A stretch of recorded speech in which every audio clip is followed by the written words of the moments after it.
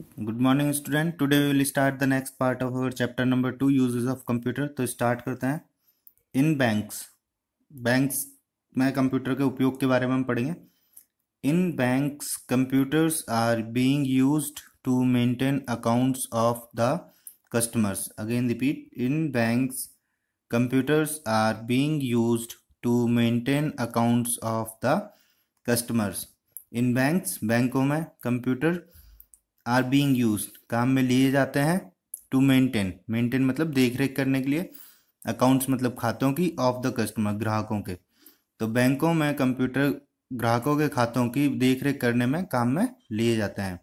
They are also use to receive cash money from A T M automated teller machine ये A T M की full form है automated teller machine again they are also use to receive cash money from ATM they मतलब वे are also काम में लिए भी use to काम में लिए जाते हैं टू रिसीव प्राप्त करने के लिए कैश मतलब नगद, मनी मतलब पूंजी, फ्रॉम एटीएम एटीएम से।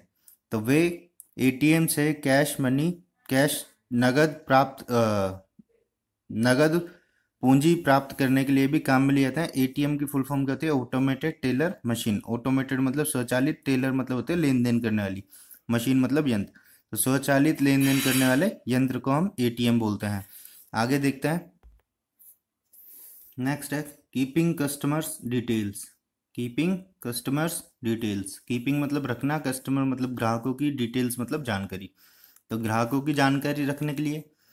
नेक्स्ट है withdrawing money from an ATM again withdrawing money from an ATM withdrawing मतलब निकालना मनी मतलब पूंजी फ्रॉम से एन ए टी एम से तो ए टी एम की भी फुल फॉर्म भी हमने देखी थी ऑटोमेटेड टेलर मशीन विदड्रॉइंग मतलब निकालना मनी तो ए टी एम से पूंजी निकालना.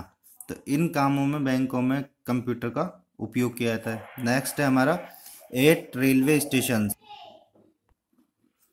railway station पर.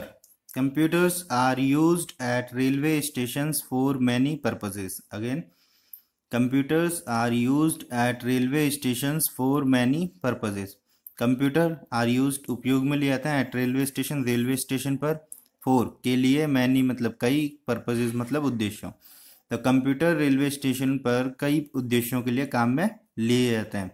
पहला उद्देश्य to book and cancel tickets again to book and cancel tickets book का मतलब होता है आरक्षित करना है सुरक्षित करना एंड और कैंसिल मतलब रद्द करना टिकट्स को।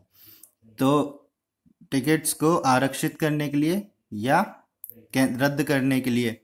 नेक्स्ट है to display arrival and departure time of trains again to display arrival and departure time of trains display मतलब दिखाने के लिए अराइवल मतलब आगमन समय एंड डिपार्चर का मतलब होता है प्रस्थान।